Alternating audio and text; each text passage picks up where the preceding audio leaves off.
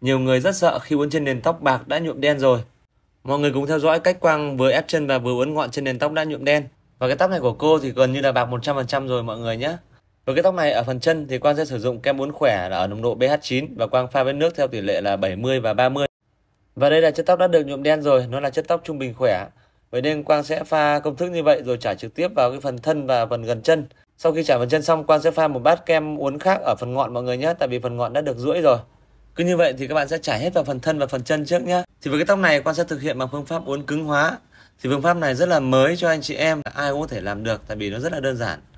Ok, sau khi Quang đã trải lần lượt vào phần thân và phần chân rồi thì Quang sẽ thực hiện trải ra ngọn. Thì với bát ở ngọn này Quang sẽ thực hiện pha nồng độ pH8 thôi.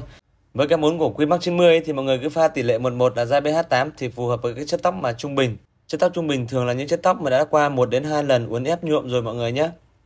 Cứ như vậy thì các bạn sẽ trải hết vào phần ngọn và cái phần này là cái phần vừa chúng ta cách ra đấy tại vì do cái tóc này ở phần dưới đã được ép rồi nên mình sẽ phải pha các bạn kem uốn khác với phần chân tóc. Ok, cứ như vậy thì các bạn sẽ trải lần lượt vào hết phần ngọn tóc và thời gian lưu thuốc là 20 phút thôi.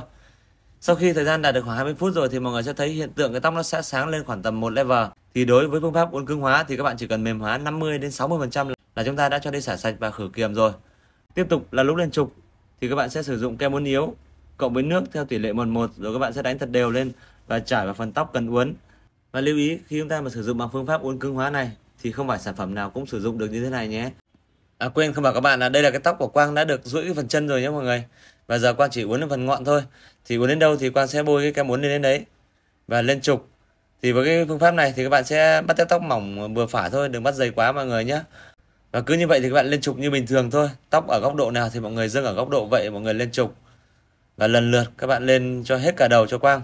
Những bạn nào quan tâm đến cách làm như thế này thì các bạn thể inbox riêng cho Quang nhé. Hoặc là các bạn quan tâm đến sản phẩm của Quimax 90 thì các bạn cũng liên hệ cho Quang và Quang sẽ hướng dẫn cho mọi người.